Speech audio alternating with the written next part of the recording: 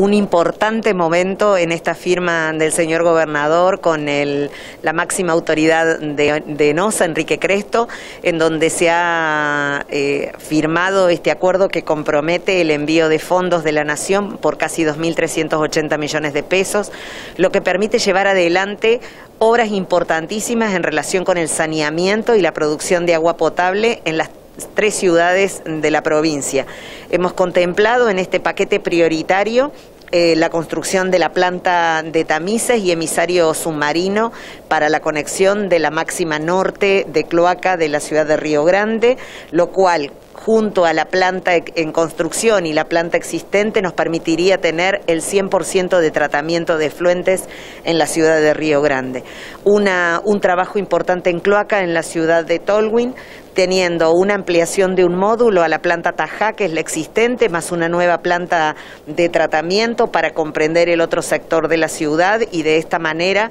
poder también tener el tratamiento de la totalidad de los efluentes y sanear un problema importante de, de la ciudad del corazón de la isla. En el caso de Ushuaia tenemos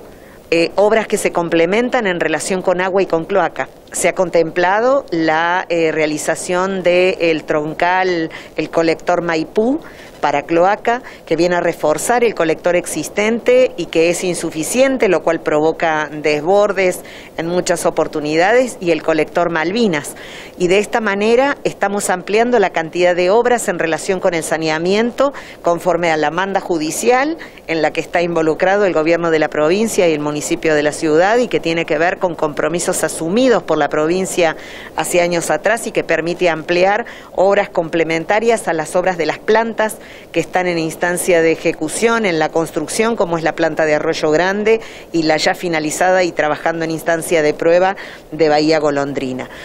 También tiene que ver con trabajar en relación con agua. Y de esta manera se plantea el trabajo de la SUD construir el azud en la cota 176, aguas arriba del arroyo grande, y que permite tener esa reserva de agua que garantice que sea cual fuera la condición del año y climática de la ciudad de Ushuaia, tengamos la reserva de agua para poder garantizar el proceso de potabilización.